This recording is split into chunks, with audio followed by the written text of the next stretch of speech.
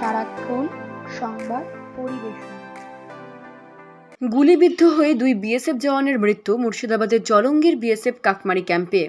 একশো সতেরো নম্বর ব্যাটালিয়নের কাকমারি ক্যাম্পে দুই বিএসএফ জওয়ান গুলিবিদ্ধ হল। বিএসএফ সূত্রে জানা গিয়েছে, ওই দুই বিএসএফ জওয়ান কোনো কারণবশত বাগবিতণ্ডায় জড়িয়ে পড়ে এবং যার ফলে একে অপরকে গুলি মারে। আর গুলি মারার ঘটনায়, ঘটনাস্থলেই গুলিবিদ্ধ হয়ে মৃত্যু হয় দুই বিএসএফ জওয়ানের। বিএসএফ ক্যাম্পের ভিতরে গুলি চলার ঘটনায় চাঞ্চল্য সৃষ্টি হয় কাকমারি বিএসএফ ক্যাম্প সংলগ্ন এলাকায় মৃত ওই দুই বিএসএফ জওয়ানের নাম জনসন টাকো বাড়ি ছত্তিশগড় এস জি সেখরান বাড়ি তামিলনাড়ু देखिए ये अ, घटना घटी है हाँ। अ, दो आदमी आपस में अ, गोली चली है हाँ।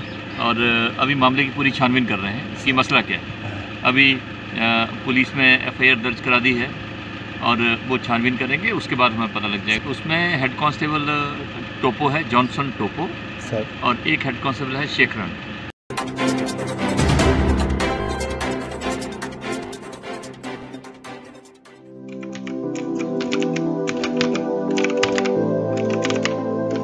আপনারা দেখছেন ডিএন টিভি নিউজ সারাক্ষণ সংবাদ পরিবেশন